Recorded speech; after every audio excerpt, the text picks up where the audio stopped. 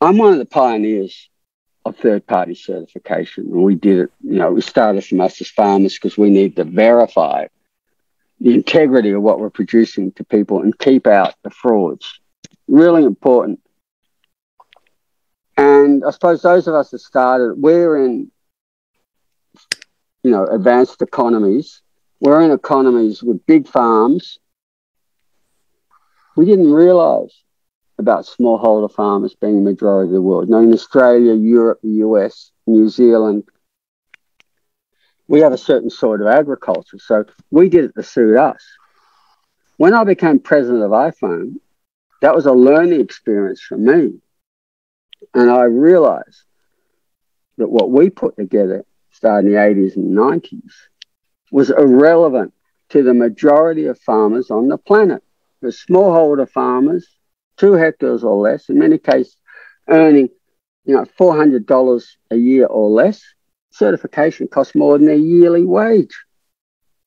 It's not viable, third party certification. So we had to look at developing systems that were viable and empowering for the majority of the world's farmers. And that's where PGS came from.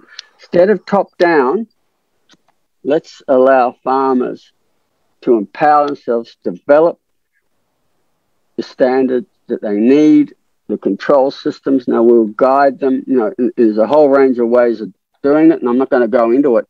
But the critical thing is this: is that well, th- these type of systems, which are peer reviewed, PGS is where farmers review other farmers to ensure the integrity of the system. That's used by science. The gold standard of science is peer reviewed, published papers in open, recognized journals. Other scientists will look at it and, and check it for accuracy.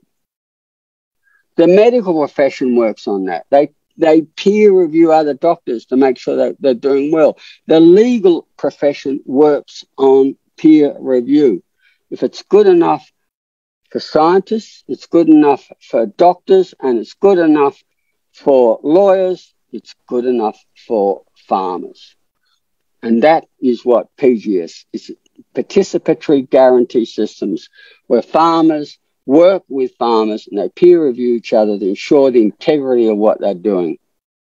And there's a whole range of it, but for us, this is the way rather than top down, imposed, bottom up empowering.